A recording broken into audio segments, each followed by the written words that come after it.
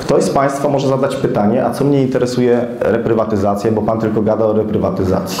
Dlaczego ja zaczynam, dlaczego ja zaczynam właśnie od reprywatyzacji, a potem będę, chciałbym Państwu zaproponować rozmowę o innych problemach miasta. Właśnie dlatego, że my przygotowujemy duży raport, który jest już na samym ukończeniu i raport dotyczy tego, ile Warszawa straciła w wyniku działalności mafii reprywatyzacyjnej.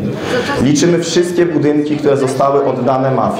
Chcę Państwu powiedzieć, że to jest ponad 4000 nieruchomości, które 4000 nieruchomości, które już dzisiaj Państwu mogę powiedzieć, że są warte Oddanie tych nieruchomości wraz z działkami są warte dziesiątki miliardów złotych. Gdyby to przeliczyć na budżet inwestycyjny naszego miasta, co to oznacza? Jeżeli Warszawa wydała na inwestycje przez 12 lat około 38 miliardów złotych, na różne inwestycje, wszystkie, również ze środkami zewnętrznymi i prawie połowę tego Drugą połowę tego wyprowadzono z budżetu mafia, y, miasta do mafii reprywatyzacyjnej. Co to oznacza?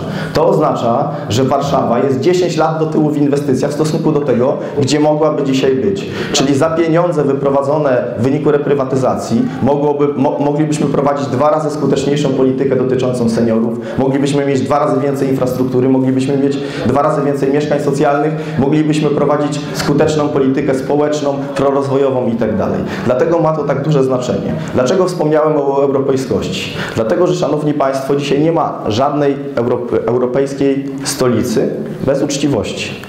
Nie ma czegoś takiego jak prawdziwa europejskość bez uczciwości.